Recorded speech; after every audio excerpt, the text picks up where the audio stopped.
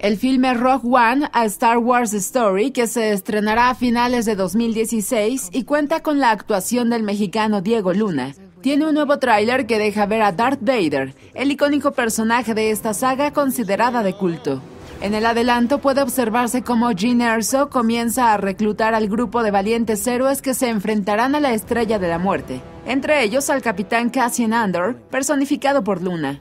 Rogue One, a Star Wars Story, es un spin-off de la saga Star Wars, la cual está situada de manera cronológica entre los episodios 3 y 4 de la franquicia.